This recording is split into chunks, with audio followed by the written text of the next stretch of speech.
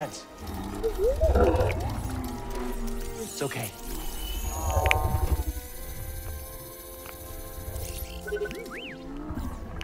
It's a piece of the Night Sister's ship. We need to remove it. This is gonna hurt, okay?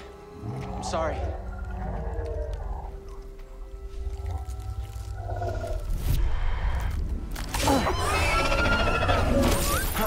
Thanks, BD.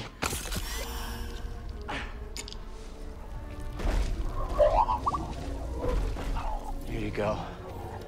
Oh. It's the least we could do.